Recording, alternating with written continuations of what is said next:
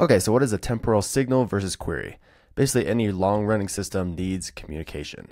So, signals and queries are ways to communicate to temporal workflows. So, to demonstrate this, I have an airline seat booking application. So, this runs a seat manager workflow. So, all these seats are managed by a temporal workflow. So, let me demonstrate how a signal works. So, a temporal signal, you can think of it as mutating state and it's asynchronous. So, you have a client here that wants to book a seat in the seat manager workflow.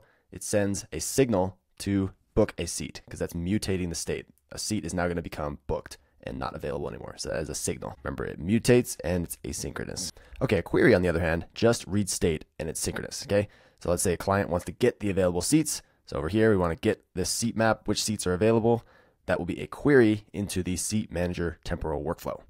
Okay, so signals mutate state are asynchronous and queries read state and are synchronous. So let's look at an example here. So if I type in user one, I want to book a seat. This book operation is mutable. It mutates state in my seat manager workflow. And as you can see, this is red now. This UI reads, queries my seat manager workflow for available seats. It saw that two are booked and the rest are available. So that was a query that happened. So I hope that was clear and talk to you next time.